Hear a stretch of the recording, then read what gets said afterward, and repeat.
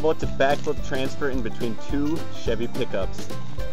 14 years apart, I'm gonna backflip between them. Measure tape does not lie. I got a big old three foot backflip transfer going on. That's three feet in between two pickups. No helmets, no pads, no mats, just balls.